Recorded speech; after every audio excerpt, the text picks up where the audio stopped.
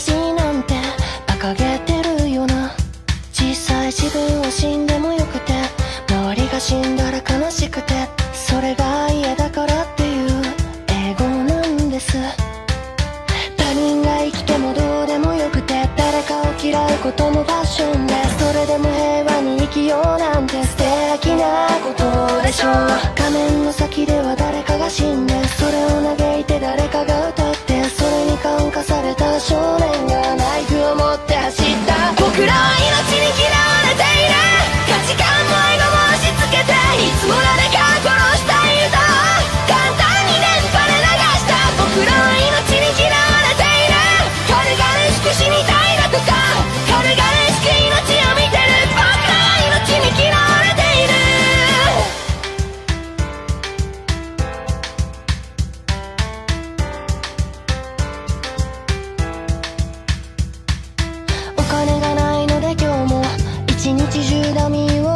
する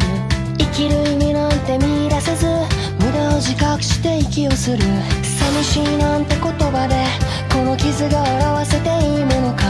そんな石ばかり抱え今日も一人ベッドに眠る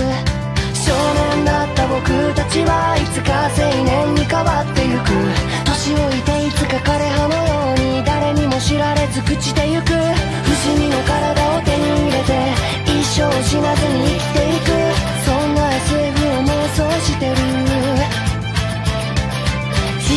死んでもどうでもよくてそれでも周りに生きてほしくて矛盾を抱えて生きてくなんて怒られてしまう。正しいものは正しくいなさい。死にたくないなら生きていなさい。悲しくなるならそれでもいいならずっと一人で笑えよ。僕らは命。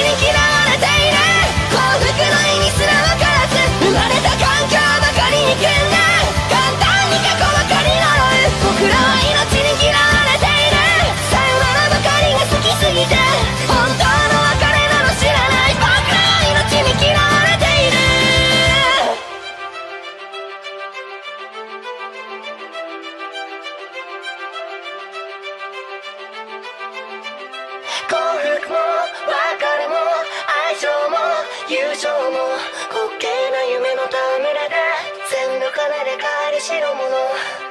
日死んでしまうかもしれない。全て